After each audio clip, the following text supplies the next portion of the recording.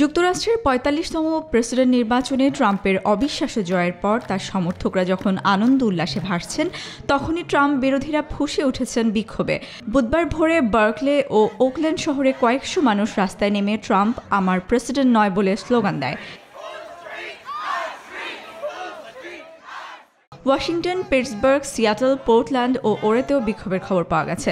Democratic পার্টির শক্ত ঘাঁটি হিসেবে পরিচিত সান ফ্রান্সিসকোর বে এলাকায় ট্রাম্পের বিজয়ে তীব্র ক্ষোভ প্রকাশ করা হয়। Uh, uh, ট্রাম্পের পক্ষে মার্কিন জনগণের এই সিদ্ধান্তে আমরা স্তম্ভিত। কি হবে আমাদের? সামনের কয়েকটি বছর কি চরম অনিশ্চয়তায় কাটাতে হবে আমাদের? মধ্যপ্রাচ্যের কি হবে?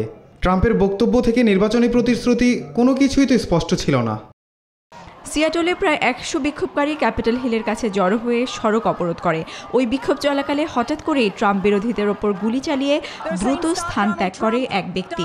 সিয়াটল পুলিশের বরাত দিয়ে রয়টার্স জানিয়েছে, বুধবার রাতে ডাউনটাউনে বাগবিতণ্ডার পর এক ব্যক্তি গুলি শুরু করে। এতে বেশ কয়েকজন আহত হয়।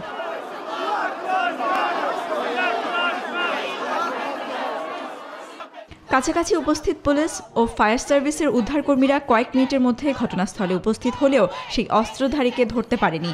এক প্রত্যক্ষদর্শীর বরাত দিয়ে সিয়াটল টাইমস জানিয়েছে, ওই এলাকায় বেশ কয়েকটি গুলির শব্দ শোনা গেছে। পেনসিলভেনিয়া থেকে ক্যালিফোর্নিয়া এবং ওরেগন থেকে ওয়াশিংটন স্টেট সব জায়গায় শত শত মানুষ রাস্তায় নেমে ট্রাম্পের বিরুদ্ধে বিক্ষোভ করে। পেনসিলভেনিয়া ইউনিভার্সিটি অফ পিটসবার্গের কয়েকশো শিক্ষার্থী রাস্তায় নেমে বিক্ষোভ করে। ওরেগনের সড়ক অবরোধের পাশাপাশি রেল চলাচলেও বাধা তৈরি করে বিক্ষোভকারীরা। কয়েক জায়গায় আমেরিকার পতাকায় আগুন ধরাতেও দেখা যায়।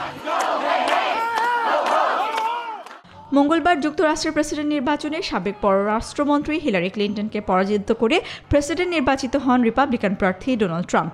এ ঘটনার প্রতিবাদে যুক্তরাজ্যের লন্ডনে শত শত মানুষ মার্কিন দূতাবাসের সামনে জড়ো হয়ে বিক্ষোভ প্রদর্শন করে।